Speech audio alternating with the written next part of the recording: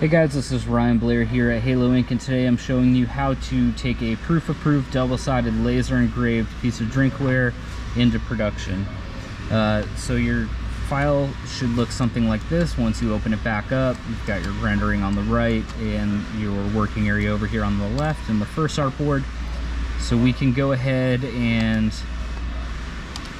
delete the rendering of the drinkware and again, we should have one side lined up to the top, the other side lined up to the middle.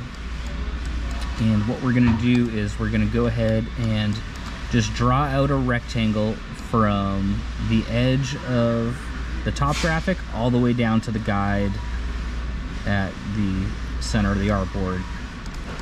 We're gonna take this rectangle here and we're gonna go up into the height and we're going to divide that by two and hit tab and that should just cut that shape in half like so.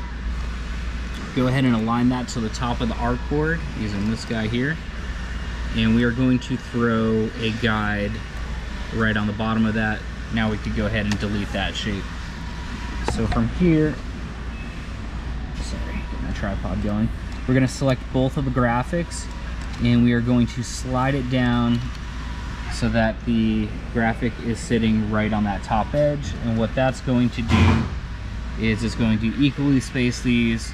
So when the cup gets put into the laser this gets centered at uh, at the top of the rotary tool. And if it is set up like that and you start the laser job it will go ahead and uh, we will be in the correct positioning for it to be perfectly aligned with the front and back. So from this point, your artboard one should have already been filled out for this example. It is not, so I apologize for that. Go ahead and put how many pieces you're lasering. So say this was 15. You just go ahead and plug that in like so. And then export for artboards like you normally would.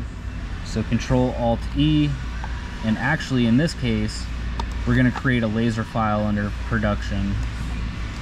So we're gonna go into the CB orders to the correct order, right click, new folder, we're gonna call this laser.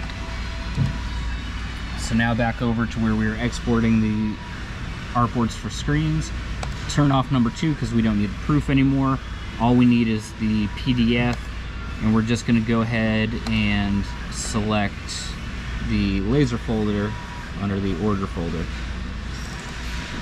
Once you have that selected, export the artboard and you're good to move the job into production and that's it. Thanks for watching.